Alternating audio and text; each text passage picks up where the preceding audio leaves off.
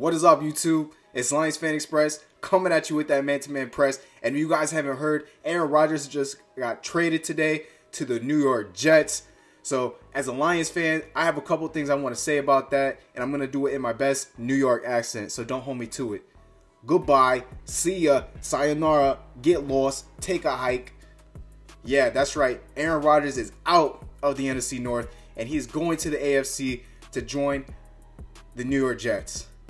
So, yeah, where have I heard this one before? Oh yeah, that's right. The same thing happened to Brett Favre uh, about a, over a decade ago. So, man, history really does repeat itself.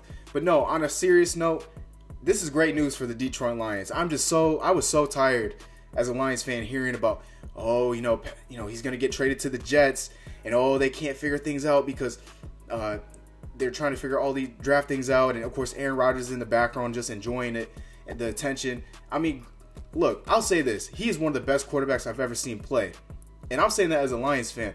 But when it comes to him as personally as a person, man, I can't stand him. I wish him well, but I can't stand him. So, yeah, this is gonna be. I'm just so excited to get rid of him, man. I'm so excited to just be done. And as a Lions fan, I am just so full of joy right now of, of someone who has just caused my team so much misery throughout my whole entire fandom until recently, until the Lions started getting on him and started showing him who the real king of the jungle is in the NFC North. Now, here's the thing: the Lions haven't won anything yet, so we gotta, we gotta, you know, we gotta back it up. And I, am usually not, you know, a trash talker, but you know what? I'm fired up. I'm ready to go. Man, Aaron Rodgers, two back-to-back MVP. Man,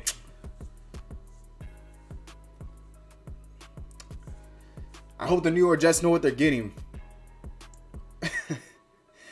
I hope they know what they're getting, man. I hope they can take on that, you know, hit on his big personality in the Big Apple.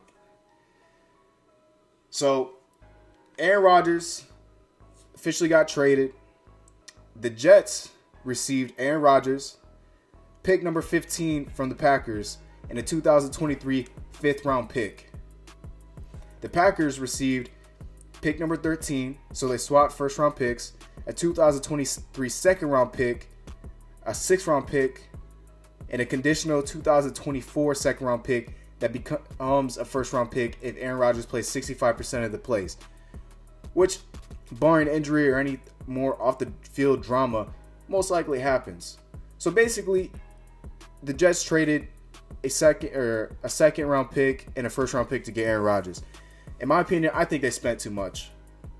I'll be straight up honest. Like I know they're trying to go and win, and they think that he's the guy that can get him over the hump. But I mean, he's 40 years old. He's on the last leg of his career. You know, this is probably the last team he's gonna play on.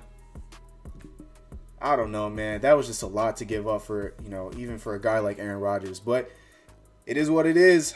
The Jets decided to trade for him, and they finally got something done after so many weeks of uncertainty and back and forth. And as Lions fan, man, I can't stand that type of stuff, man. Can't stand it.